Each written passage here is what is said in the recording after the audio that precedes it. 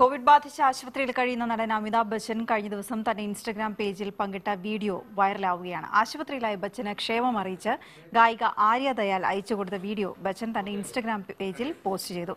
ബച്ചന്റെ സ്വന്തം ആളെന്ന പേരിലാണ് മലയാളിയായ ആര്യ ഇപ്പോൾ താരമാവുന്നത്.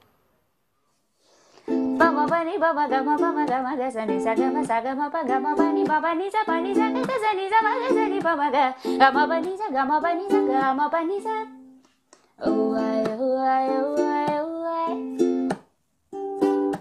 oh I oh I oh I oh I The club isn't the best place to find a lover, so the bar is where I go Covid വേഗം കുറച്ച ദിനങ്ങൾ നിറം കെടുത്തിയ ദിനങ്ങൾ അത്തരമൊരു വിരസ ദിനമാണ് കുഞ്ഞെ നിന്റെ ശുദ്ധധന്യാസി തെളിച്ചമുള്ളതാക്കിയത് ബച്ചന്റെ ഈ ഇൻസ്റ്റഗ്രാം പോസ്റ്റ് ആര്യ ദയാൽ എന്ന കണ്ണൂരുകാരി പെൺകുട്ടിക്ക് കിട്ടിയ അവാർഡായിരുന്നു.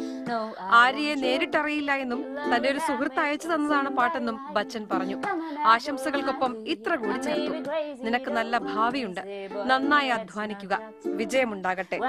തന്റെ വിരസമായ ആശുപത്രി ദിനങ്ങളെ സുന്ദരമാക്കിയ പാട്ടിനെ അമിതാഭ് നെഞ്ചോട് ചേർത്തു. സഖാവ് എന്ന കവിത പാടി നേരത്തെ തന്നെ താരമാണ് ആര്യ ദയാൽ. ഇൻസ്റ്റഗ്രാമിൽ ഒന്നര ലക്ഷം ഫോളോവേഴ്സ് ഉണ്ട്. ഷേപ്പ് ഓഫ് യു പലതവണ പാടിയിട്ടുണ്ടെങ്കിലും ക്ലാസിക്കൽ വേർഷൻ ഒരു ശ്രമമായിരുന്നു. അതിന് തനിക്ക് ഒരുപാട് ഇഷ്ടമുള്ള ബച്ചനിൽ നിന്ന് അഭിനന്ദനം കിട്ടിയതിന്റെ ആവേശത്തിലാണ് അവൾ രണ്ടായിരത്തി പതിനേഴിൽ പുറത്തിറങ്ങിയ